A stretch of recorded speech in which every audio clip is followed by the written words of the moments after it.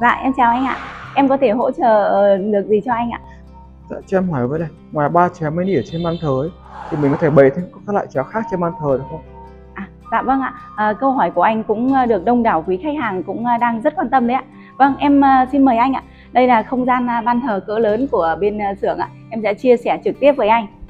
Ngoài ba chóe mini mình đựng muối gạo nước trên ban. Ngoài ra ta có thể sử dụng thêm một cặp chóe đăng đối trên ban sao cho phù hợp với kích thước ban cũng như các uh, bộ phụ kiện trên ban thờ ạ. Như ban này, đây anh đang ờ, đang thấy đây là một ban thờ cỡ lớn dành cho từ đường dòng họ. Như ban này em đang sử dụng cặp chóe đăng đối ở gần phía bên ờ, song song cái bộ ngai đấy ạ. Cặp chóe này thì đang có dung tích 60 lít, chiều cao khoảng 68 cm, đường kính thân 41 cm. Đó, những cặp chóe này sẽ phù hợp cho những uh, kích thước ban với uh, chiều dài ban từ 2m17 trở lên. Đấy. Ngoài ra thì uh, em có thể giới thiệu với anh thêm một số không gian ban thờ nữa với kích thước nhỏ hơn thì ta sẽ sử dụng những cặp chóe nhỏ hơn. Dạ em mời anh ạ.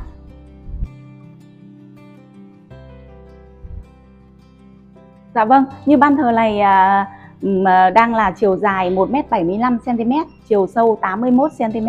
Như ban này cũng ngoài ngoài cái việc sử dụng ờ, ba chóe mini muối gạo thì ta có thể sử dụng thêm một cặp chóe 5 lít với chiều cao khoảng 35 cm để làm sao hài hòa cho bộ bát hương em đang đặt như trên ban như này cộng với các phụ kiện đấy khi mình kết hợp mà cặp chóe mình cũng phải làm sao cân đối được trên ban được hài hòa nhất anh nhé sẽ thẩm mỹ và hài hòa nhất Dạ. Còn một ban nữa, ví dụ như là ban ờ, những ban thờ mà mình ờ, với kích thước nhỏ hơn, ban thờ chung cư với à, diện tích à, ban cỡ nhỏ, chiều dài khoảng từ à, 1m17 cho tới 1m27 chẳng hạn.